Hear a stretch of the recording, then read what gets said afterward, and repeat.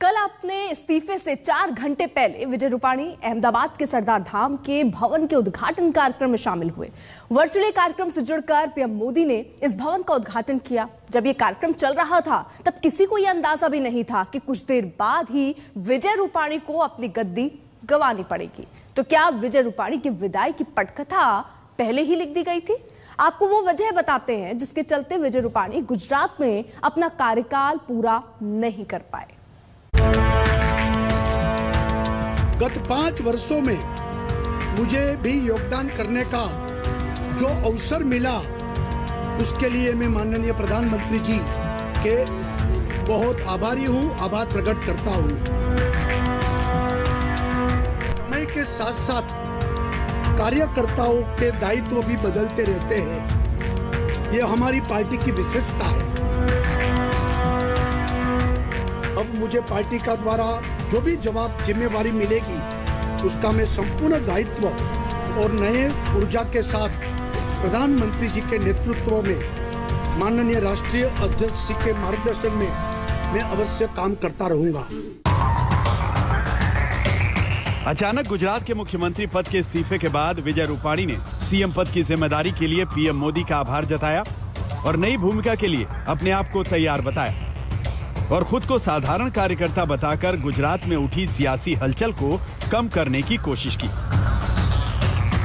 मेरा त्याग पत्र से गुजरात भारतीय जनता पार्टी के नए नेतृत्व को अवश्य अवसर मिलेगा तथा हम सब एकजुट होकर माननीय प्रधानमंत्री जी के नेतृत्व में गुजरात की इस विकास यात्रा को नई ऊर्जा, नए उत्साह, नए नेतृत्व के साथ आगे अवश्य लेकर जाएँगे। अपने इस्तीफे के बाद विजय रूपाणी की प्रेस कॉन्फ्रेंस से जो बात साफ़ नहीं हो पाई वो ये कि आखिरकार एकाएक गुजरात के सीएम का इस्तीफा हुआ तो क्यों? वो क्या वजह थी कि चुनाव से ठीक एक साल पहले गुजरात के सीएम को अपनी गद्दी छोड़नी पड़ी? इस्तीफे की वजहों पर चर्चा से पहले इन दो तस्वीरों को देखिए। पहली तस्वीर अहमदाबाद में सरदार पटेल धाम के उद्घाटन की है, जिसमें खुद पीएम मोदी वर्चुअल माध्यम से शामिल हुए। सीएम विजय रूपाणी भी इस कार्यक्रम में मौजूद थे और दूसरी तस्वीर करीब चार घंटे बाद की है, जहाँ विजय रूपाणी पद से इस्तीफा देने के बाद राज्यपाल के पास पहुँचे ये हमारी पार्टी की विशेषता है कि जो दायित्व पार्टी द्वारा दिया जाता है, पूरे मनोयोग से पार्टी कार्यकर्ता का, कार्यकर्ता उसका निर्वहन करते हैं और मुख्यमंत्री के रूप में मुझे जो दायित्व का निर्वहन करने के बाद अब मैंने मुख्यमंत्री पद से त्याग पत्र देकर पार्टी के संगठन में नई ऊर्जा के साथ काम करने की इच्छा भी जताई है। अब मुझे पार्टी का द्वारा जो भी जवाब जिम्मेवारी मिलेगी, उसका मैं संपूर्ण दायित्व और नए ऊर्जा के साथ प्रधानमंत्री जी के नेतृत्व में माननीय राष्ट्रीय अध्यक्ष जी के मार्गदर्शन में मैं अवश्य काम करता रहूँगा। अब आप उन वजहों को जानिए जो गुजरात के मुख्यमंत्री के अचानक इस्तीफे का कारण बनी। दरअसल बीते कुछ दिनों से गुजरात सरकार में नेतृत्व परिवर्तन की अटकलें लगाई जा रही थी। चर्चा इस बात की भी है कि कुछ मंत्रियों ने विजय रूपाणी के कामकाज को लेकर नाराज़गी जताई थी। इसके साथ कोरोना की दूसरी लहर के दौरान गुजरात में स्वास्थ्य व्यवस्थाओं पर भी सवाल उठे थे। यहाँ तक कि गुजरात हाईकोर्ट ने भी कोरोना वायरस से निपटने में कमी को लेकर गुजरात सरकार को फटकार लगाई थी।